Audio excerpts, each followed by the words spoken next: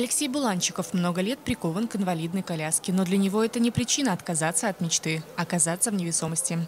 Он уверен, сила воли и опытные тренеры помогают достичь даже невозможных целей. Узнал, что будут такие курсы, потом это же невесомость все-таки. В космос навряд, навряд ли я полечу, а под воду можно спуститься.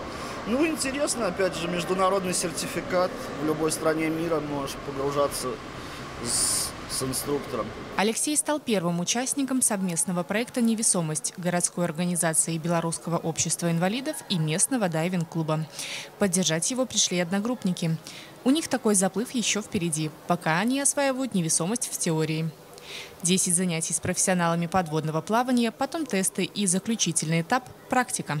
Практические занятия у нас будут проходить каждые выходные по два часа. Мы, а, на каждого ученика у нас будет отдельный инструктор, чтобы обеспечить полностью всю безопасность. Необычный проект поддержали городские власти, а также администрация бассейна, которая безвозмездно предоставила возможность для тренировок. По окончании обучения каждый участник курсов получит сертификат международного образца. Бесплатные курсы по дайвингу для людей с инвалидностью – новый опыт для Витебской области. Подобных занятий нет нигде в Беларуси. Сегодня находится все больше тех, кто хочет поддержать благотворительный проект, который доказывает – в мире нет ничего невозможного, а мечты должны осуществляться.